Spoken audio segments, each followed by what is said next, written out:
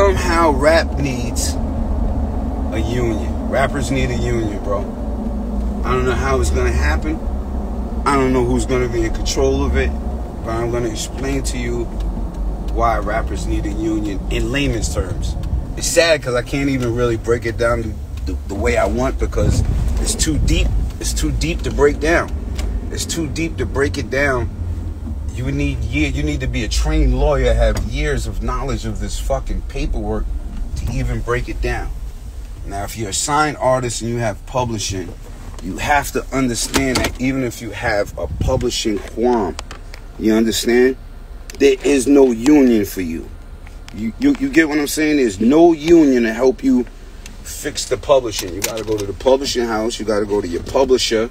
You got to give you a dispute, and either they hear you, or they fix it, or they don't. But there's nobody. You know, I, I deal with people who work in regular things. I deal with Lupa Conte. He's the runner of the Teamsters, local Teamsters union for you know the sanitation workers and, and things of that nature. They have a union. They have someone representing them. You understand what I'm saying? So here's what I want to teach y'all, and here's where you have to be who you say you are. Um, for years, like I'm not coming at Puff. I love Puff. I swear to God to you, I love Puff. He's a he's a he's a he's a, he's my big bro. I learned a lot from the game. You know what I mean? But business is business at the end of the day. I don't know who to even speak to at Sony EMI. You know what I mean? So I'm cool. You understand what I'm saying? I've made my living outside of music. I'm fortunate enough to have four stores, Farmacy for Life, make a whole nother, you know, way of living out here. For all my YouTubers, thank you all so much for watching. If this is the first time watching any of my videos, please hit the subscribe button. Please hit that notification uh, button as well so that way you get alerted whenever I drop new content. And let me know in the comments what you think about this particular topic because this video we're about to break down is a super important topic and I want to know from you guys how you all feel about it. Um, and if this is, you know, the 10th time you're watching one of my videos and you haven't subscribed, if you subscribe and hit the notification button, it really helps my channel.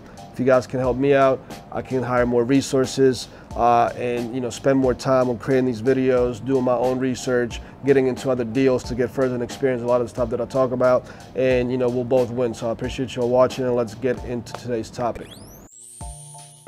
What's going on guys? My name is Matej, another day for Music Biz Daily, and let's discuss what Styles P just said in that uh, video clip that you saw, because everything that he mentioned was very important, and you guys should definitely check out the entire uh, video on his uh, uh IGTV on his page.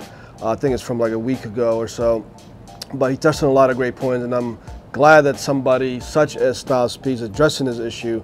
So let's kind of break down what he sort of talked about because he touched on many different points. He talks about how rappers should have a union that will protect their interests, that would you know, uh, make it more fair uh, for when it comes to signing contracts and publishing deals, um, exploitation of artists through record deals and things like that.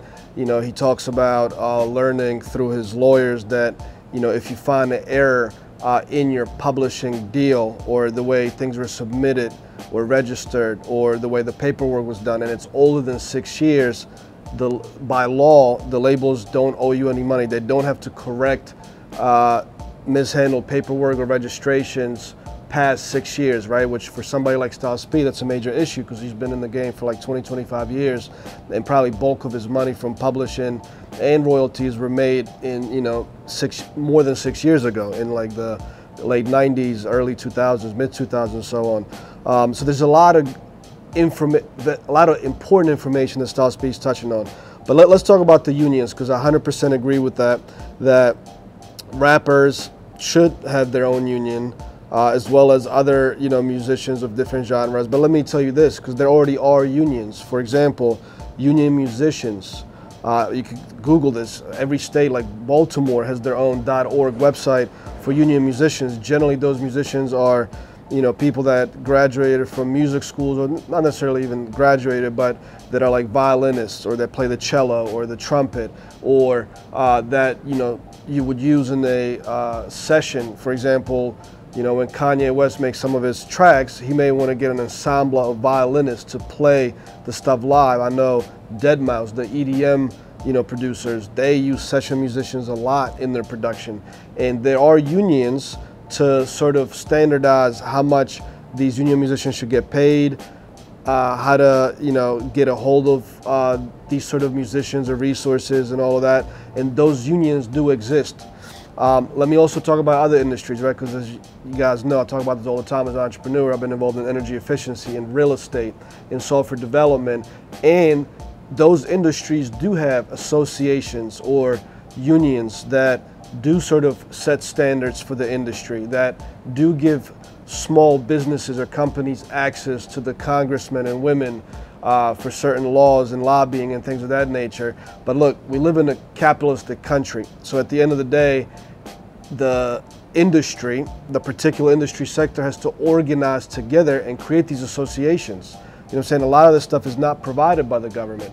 Now, if you want it to be provided by the government, then I guess people have to vote it in. But you have to realize that being in America, you know, as capitalistic of a nation as we are, the price, the, the taxes will go up for something like that. So to expect the government to get involved and set standards, especially for a wild, wild west of an industry like the music industry, that would be a huge undertaking. And you can imagine how much lobbying that would take from the small guys, not from the labels. The labels don't want you to be empowered with this information. There's a clear reason for that, or let let me not make a blanket statement. Most labels don't want artists to be empowered on that level because at the end of the day, uh, labels make more money while the artists are not sort of super educated about how the business works. You know, it's been confirmed by a lot of people in the industry.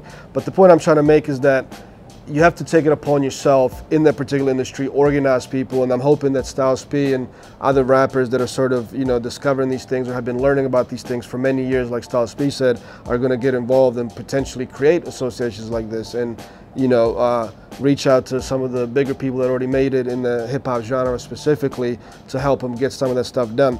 Let me give you another example because, again, it comes back to how our society is structured in America, at least when it comes to capitalism and you know unions and standards and more regulation. I don't want to get into too much of you know politics, but since I am foreign, I come from Eastern Europe, I'm very familiar with more of a social government and more regulation. But a good buddy of mine, uh, Simon, who was an exchange student in high school when I was here in the States, he's from Sweden and he actually is an artist that makes a living from being an artist. I think he's a musician as well as a contemporary painter, just an overall artist.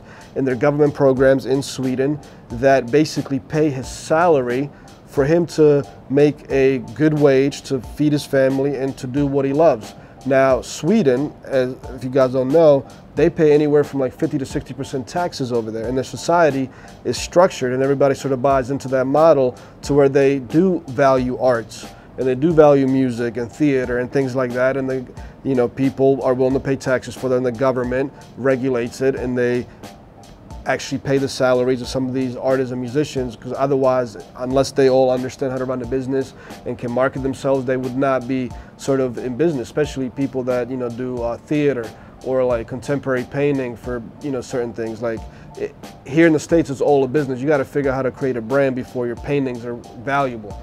Many people can paint but you know when do you become a basquiat or like a, a van gogh or you know one of these major people that has value to it so there's a lot of things to the, like kind of break down here but i do agree with Styles P. there's got to be you know there should be a union for rappers but again being in america in the capitalistic you know structure that we're in, you got to take it upon yourself. But it's not just now, 25 years after you figured out that a lot of contracts you've been a part of or paperwork that's been put together on your behalf has been not in your favor.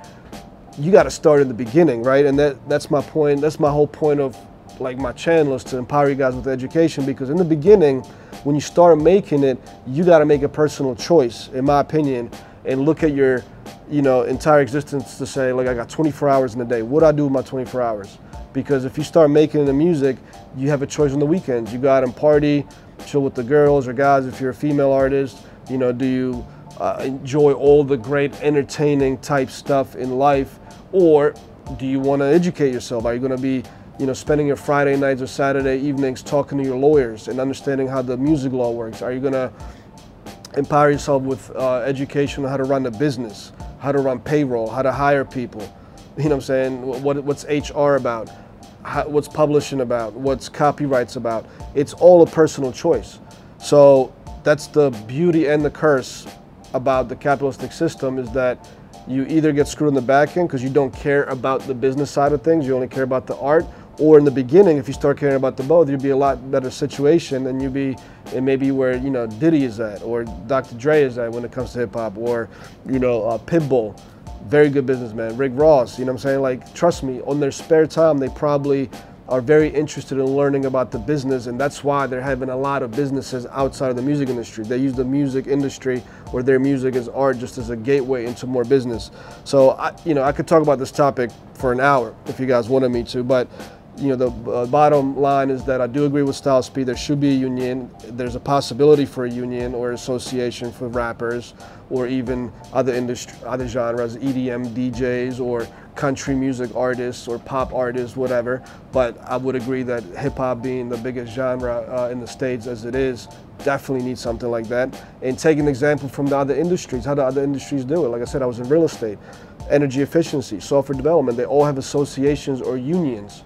But remember that if you want the government to get involved, that's uh, unlikely to happen unless the taxes go up or things like that. So just empower yourself with education. I'm glad that Styles finally doing it, and I'm glad that he was able to, you know, be entrepreneurial and also have his like side uh, businesses going on with the with the juices and the healthy eating and all that.